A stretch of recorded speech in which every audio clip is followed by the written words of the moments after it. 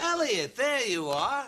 I just got an extra shipment of semi-sweet chocolata bang bangs. Can I put you down for, say, 10 more boxes? Sorry, Jack, I don't think so. In fact, I need to return the ones I already bought.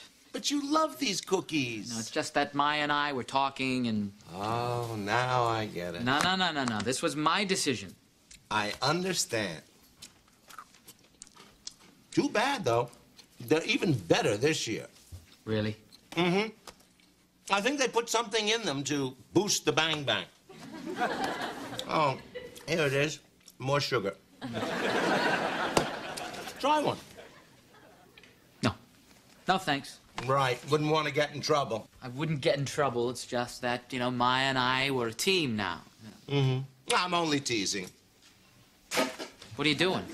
It had a hairline crack. I have such an abundance, I don't have to eat any that aren't perfect. Chipped edge. so, on this team, are you the bitch? What the hell does that mean? Nothing.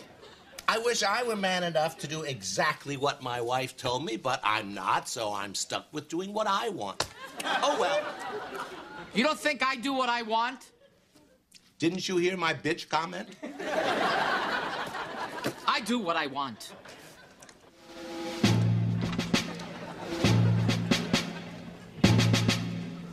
So, Donna, my sweetie and I are so looking forward to seeing you in. Maya? I can do what I want. Donna, hold on. You know what I want? I want to take you to my apartment, rip off all of your clothes, pour warm honey all over your body, and lick it off inch by inch.